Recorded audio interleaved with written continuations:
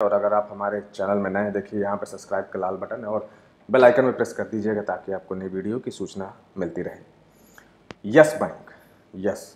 हम Yes Bank के बारे में बात करेंगे और इनके रिजल्ट्स आ चुके हैं। न्यूज़ पहले मैं पढ़ देता हूँ।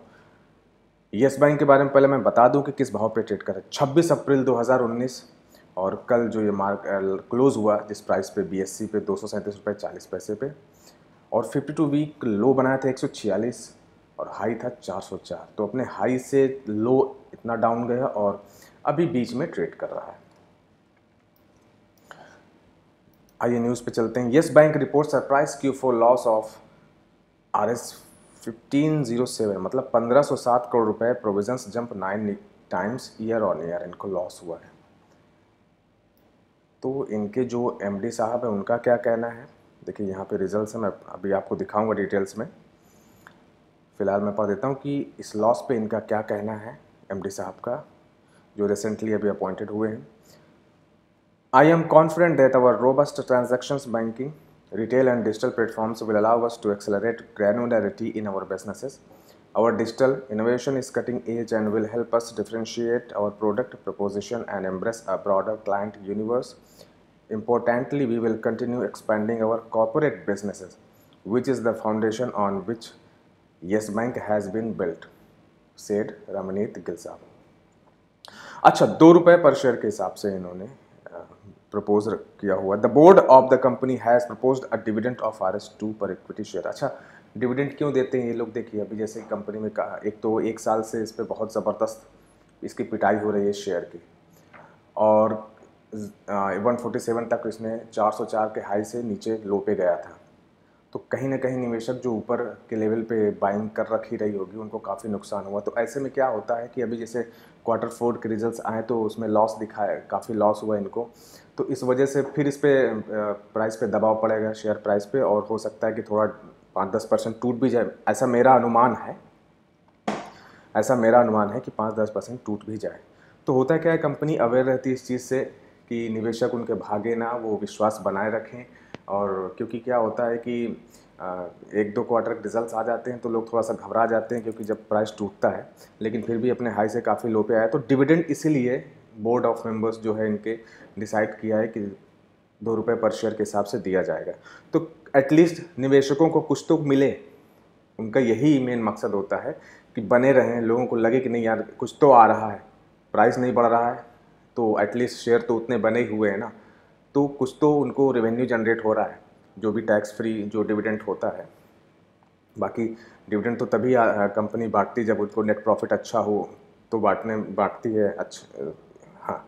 तो अब बढ़ते हैं आगे की ओर।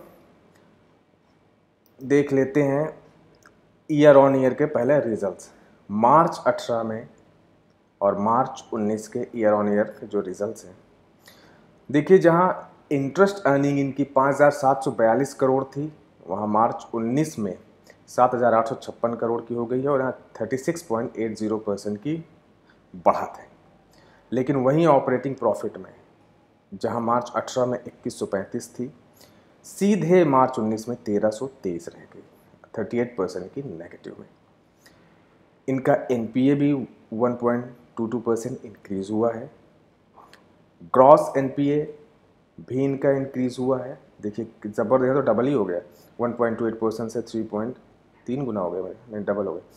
3.22 percent one point nine four percent और नेट प्रॉफिट में जहाँ मार्च 18 में एक हज़ार एक सौ उन्यासी करोड़ की जहाँ इनका नेट प्रॉफिट था, वहीं सीधे मार्च 19 में नेगेटिव 1506 करोड़।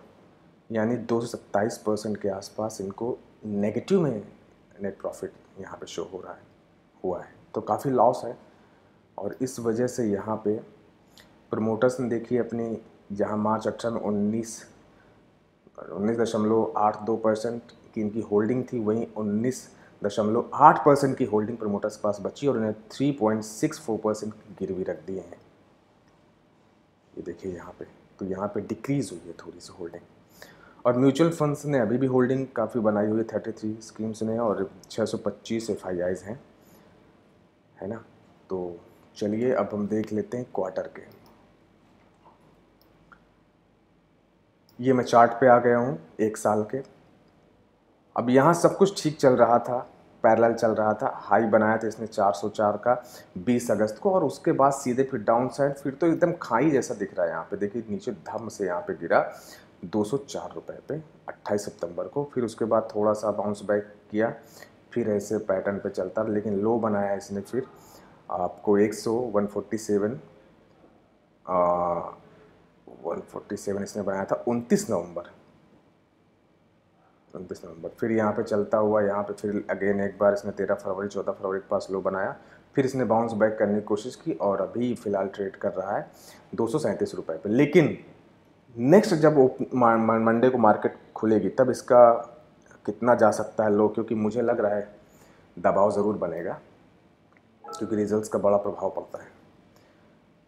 अब मैं मार्केट कैप वगैरह अभी थोड़ा सा इसमें चेंजेस होंगे, लेकिन फ़िलहाल मैं चलता हूँ सीधे आपको ले चलता हूँ फाइनेंशियल पे क्वार्टर के। देखिए जहाँ दिसंबर 18 में सात हज़ार नौ सौ अट्ठावन करोड़ की इंटरेस्ट अर्निंग थी वही मार्च 19 में सात हज़ार आठ सौ छप्पन की है। यहाँ पे डाउन साइड है। और नेट प्रॉफिट में, जहाँ एक हज़ार एक करोड़ दिसंबर अठारह में थे, वही मार्च 19 में इस क्वार्टर में पंद्रह सौ छः करोड़ का सीधे नेगेटिव लॉस है।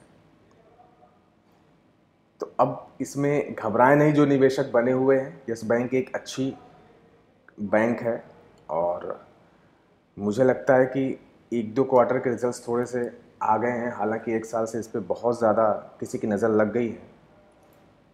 कभी कोई न्यूज़ की वजह से, कभी आरबीआई के गाइडलाइंस की वजह से, कभी मैनेजमेंट की वजह से थोड़ी सी इसमें प्रॉब्लम थी, लेकिन अब मैनेजमेंट जो है स्थिर हो गया है। एमडी साहब परमानेंट इनके नियुक्त तो हो चुके हैं। तो इसमें अब वो अपने हिसाब से सब देख रहे हैं। तो ये रिज़ल्ट थोड़ा सा उनका नेगेटिव में आया है, परंतु आशा है कि आने वाले समय में धीरे धीरे इसमें सुधार आएगा और लंबे समय के जो निवेशक हैं, उनको घबराने की ज़रूरत नहीं है। बने रहें, बैंक है।